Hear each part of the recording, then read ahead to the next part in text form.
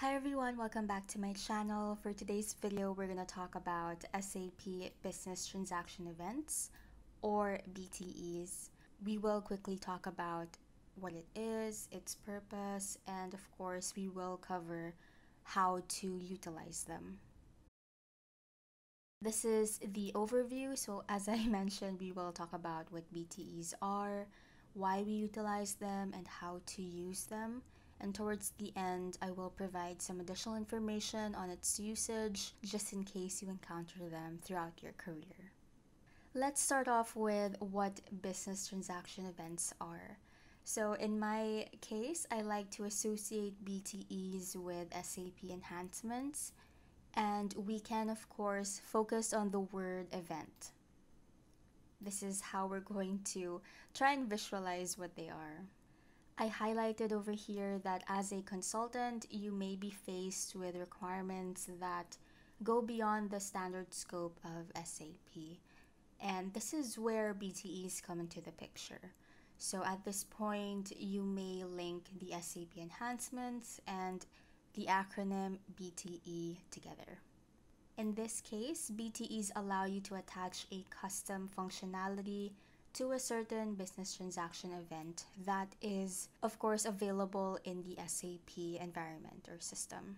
I did create an image below for visualization purposes. We can focus on this one. And if we look at the image, you will notice that the standard SAP behavior, which is the first row, would consist of event and the end of that event. So this is really basic. We're just talking about the start of the event and when it ends. If we move on to the next row, which is this one, you'll notice that in between the standard SAP visualization or diagram that I created, we included a green box over here and it's called or labeled custom functionality. So in this scenario, we're seeing, okay, we have the standard SAP behavior and we added some sort of custom functionality to that event. In the last scenario, which is this one, the last row, this shows a high level example of how BTEs are triggered. So you'll notice that we added a bit more details or descriptions. For example, for the event, we called it 00002040 and for the custom functionality, I did emphasize that we want to trigger a function module for that custom functionality that we're trying to create. At this point, we are telling SAP, hey SAP, when event 00002040 is triggered, please call the indicated custom function module before ending. So before the event actually ends, it will process or trigger the function module with your custom functionality. Moving on to our next point, this brings us to the question why do we utilize BTEs in the first place? So I did include two bullet points for this question, and the first one is that we mentioned that standard SAP does not have the functionality or the requirement that the client is asking for. The standard functionality may be there, but they're looking for something more. And so you're looking to enhance it or, or add this custom functionality on top of that standard SAP behavior. In this case, you build and implement this functionality given that there is an existing business transaction event or process in SAP that you can work on top of. The second bullet point is that SAP may advise you to utilize BTEs to implement quick fixes or enhancements to certain country specific requirements. For this bullet point, I have encountered this type of approach for IBAN related concerns, which I will discuss later on in the additional information. Throughout this video and post, we will focus on the first bullet point. Next up is how to use BTEs.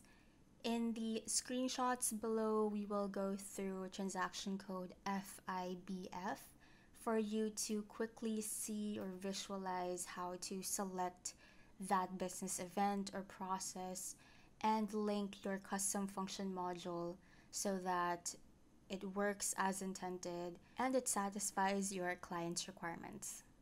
So, the first thing you want to do is locate or choose your business process event. And to do this, you go to transaction code FIBF, you select environment, and click on info system with the process's description. So once you click on that, you will see this type of screen. It's called Business Transaction Events Process Interfaces.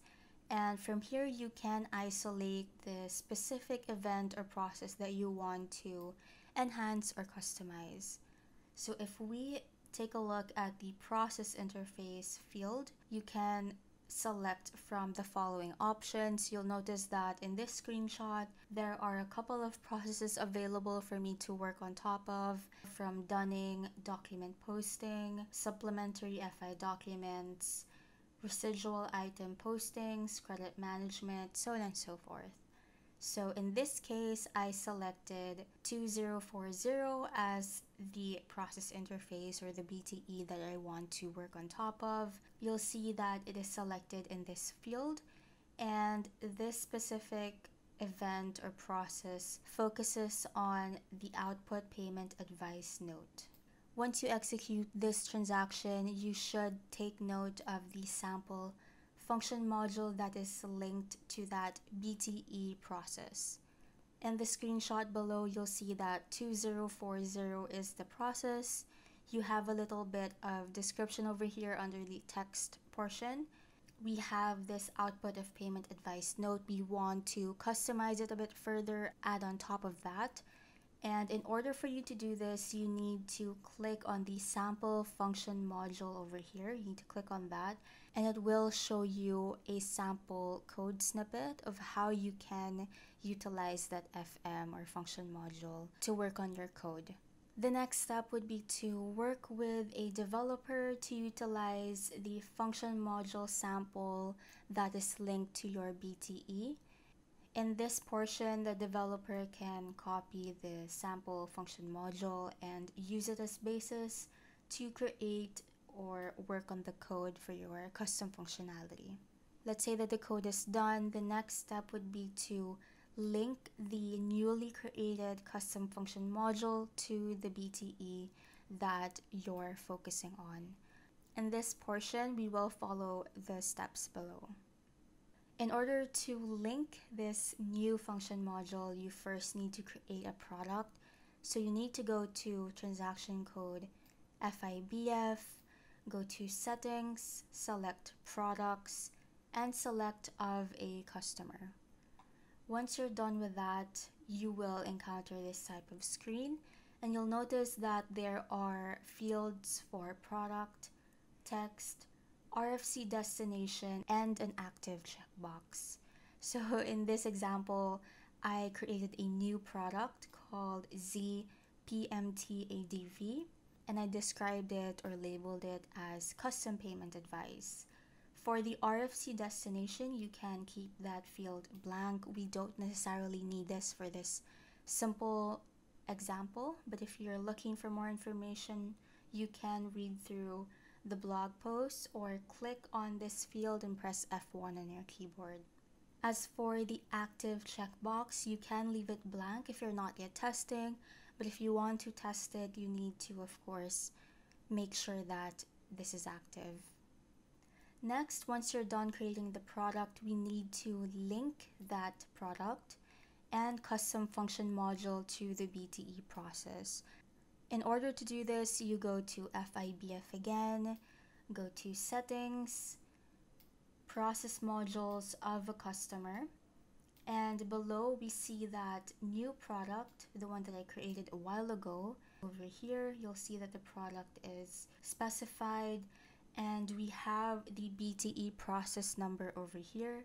So you'll see that 2040 is indicated and in between that you'll see a function module field this is where you input the function module name that was newly created by the developer for the rest of the fields, you'll see that I mentioned CTR field is normally left empty as well as the application field.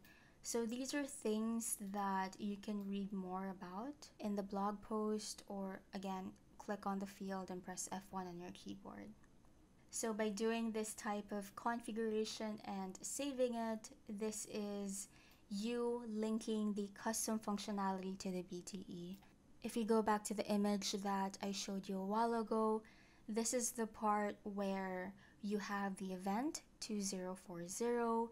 Once this is triggered, it will see your configuration in FIBF and it's going to call that function module, execute that function module, whatever behavior that you entered or you wanted to add on top of that event. And once that is done or completed, the event will reach its end. So overall, we did some sort of plug-in to that event. Now that everything is all cleared up, I will move on to the additional information. A while ago, I showed you two bullet points talking about the utilization of BTEs. This time, we're going to talk about the second bullet point. I mentioned that it is possible for SAP to advise the usage of BTEs to implement some quick fixes or enhancements to certain country specific requirements, so on and so forth. An example that I would like to share is in relation to IBAN concerns in Turkey. If you're curious to know more about this, I did link the SAP note related to this one. And if you read into that SAP note, you'll see that SAP simply asked to implement this BTE in the current SAP environment so that the error is resolved. Now, this was an approach that was provided because at the time it was not possible to propose the IBAN number from an existing bank key and account number automatically in the said country, which is Turkey. So because of this, you'll also notice in the SAP note, it did provide some instructions on how to plug in that BTE. And I have included a sample screenshot you'll see that the event in concern is 3030 and 3040. You also have the country key filled in, which is TR for Turkey, and you have the corresponding function modules that address the concern. If you'll also notice, the product is called N1422201, which also corresponds to the SAP note. This is just an example. There are more examples out there. And I do want you guys to note that this BTE may no longer be needed if the fixes or the functionalities are already covered in the latest SAP patch. So this means if the system is upgraded to the latest patch, then these BTEs are no longer needed. That's basically it for this video. I hope you guys learned. Thank you so much for watching and I'll see you in the next one.